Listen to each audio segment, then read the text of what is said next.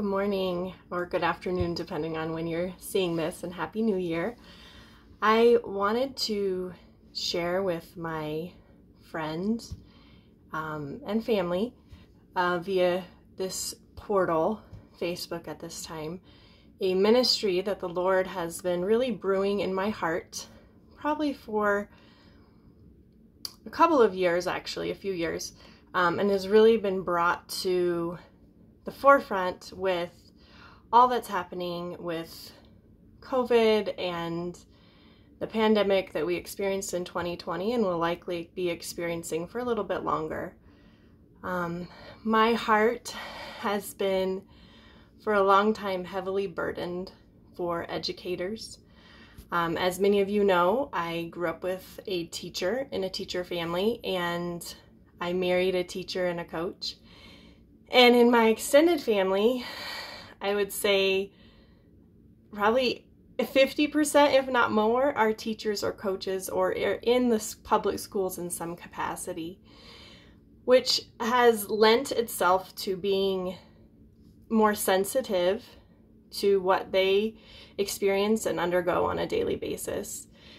And I started thinking about how a lot of us are sent into ministry in some capacity, and there are people that are sent to Africa, um, Uganda, there's people that are sent to South America for ministry, there's people that are um, in the linguistic side of ministry.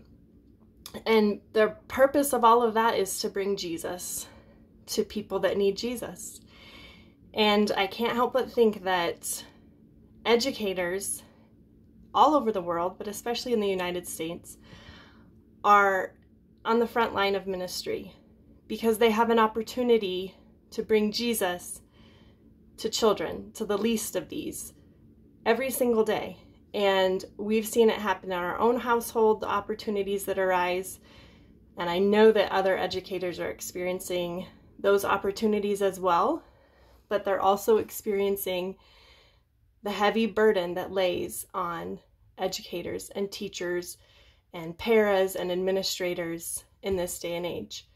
Um, where we are today with the pandemic, but even before the pandemic, when things were extremely difficult um, for teachers and they're leaving in droves because the burden is just too heavy to bear. And so, what the Lord put on my heart was a way to connect teachers, educators, in the public schools, those who are called to the marketplace, with prayer partners, people who are saying, I want to stand in the gap for a teacher. I want to be committed to praying for them on a daily basis, on a weekly basis, however the Spirit leads, and hopefully bring the Spirit's um, guidance, the Spirit's help, the Spirit's um, lifting of that burden to that teacher so that they can minister because that's really what they're called to do. They've been called to the classroom because they've been called to ministry. And so we want to equip them for that. I want to equip them for that. And I believe that there's others that are out there that would like to do that as well. So the purpose of this is to is for that exactly to connect the two. We want to connect a teacher, an educator with a prayer partner and just allow a prayer ministry to flourish. And then if the Spirit leads it elsewhere, if the Spirit does other things with it, that would be awesome.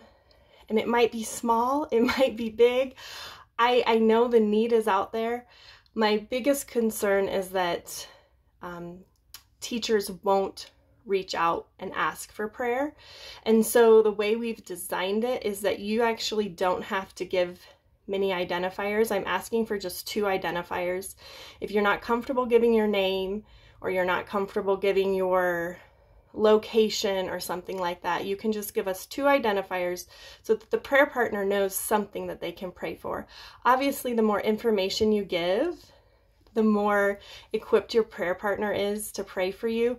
But at the same time, the spirit is not stopped because they don't know your name. The spirit is not stopped because we don't know where you are.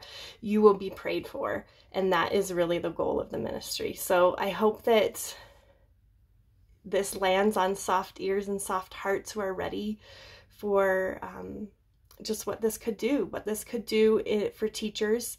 Um, we're, we're not going to be in the schools, we're not going to be advertising. This is a private thing for teachers to be uh, equipped spiritually outside of the classroom for their call to ministry. And for those who have a heart and a burden for educators to be connected in a way that they can pray specifically for this area of ministry. Thanks for listening. Have a happy new year, and I look forward to what the Lord will do with this. Bye.